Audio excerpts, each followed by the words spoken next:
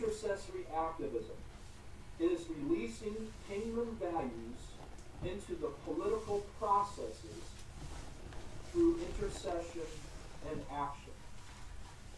All right? Intercessory activism is releasing kingdom values into the political processes through action and intercession.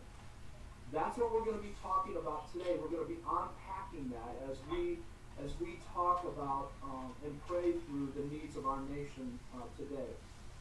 You may probably know that uh, today Purim ends, and actually uh, Purim ended in the United States uh, yesterday, but in Israel it, ended today.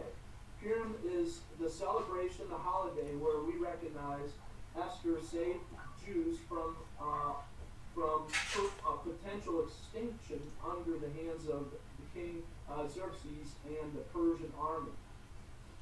Esther's parents died tragically. We don't know all the details, and she was raised by a gentleman by the name of Mordecai. And uh, somehow Esther, I don't understand how this all is culturally, but Esther rose through the beauty pageant ranks within the Persian Empire, and she became queen. God's hand was up upon her, obviously. Well, in the midst of her being the king, uh, the queen with King Xerxes, Haman, uh, who was a man who was filled full of hate towards the Jews, put together a plan to exterminate the Jews. So my whole point in setting this up is this really is a story of intercessory activism. And I want to talk to you about that because Mordecai was an intercessory. Let me tell you four things that we know about Mordecai. If you turn in your Bible to Esther's chapter 6, and if you don't have your Bible, that's fine. I'm going to be talking us through the verses. But in Esther chapter 6, verse 10, we find our first fact that we're going to be talking about in terms of who Mordecai was. We're going to be going back in time, uh, starting with the big picture going back to um, the smaller picture of what we understand about Mordecai. In verse 6, I'm sorry, verse 10 of chapter 6 of Esther, we read that Mordecai was a man who sits by the gate. The first thing we need to understand about Mordecai is that he positioned himself as a watchman for the nation of Israel by purposely sitting at the gate. When you sit at a gate of a large city at this time period, everything came and went through the gate. If you wanted to know what was going on in that city, you would you would sit by the gate and watch what comes and goes. And Mordecai felt called of God to be a watchman for the Jews, so he positioned himself by sitting at the gate. So Mordecai, first point, number one, was a watchman.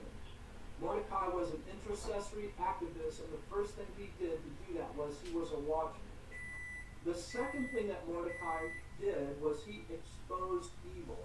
If you go to the second verse of the sixth chapter, the same chapter of Esther, we read a, little snippet of a story about when Xerxes was uh, couldn't sleep one night, and he wanted to fall asleep, so he pulled out the Persian law journals, and he read a story. He was reminded of a story when Mordecai exposed a plot for him to be killed, for Xerxes to be killed.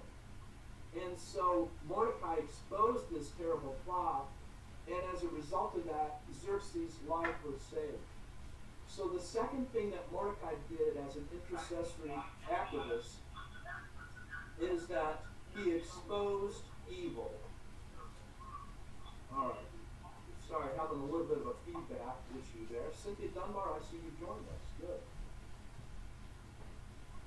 Yes, I'm on. All right, excellent. So the second point of an, an intercessory activist is, as we look at Mordecai's life, is that he exposed evil.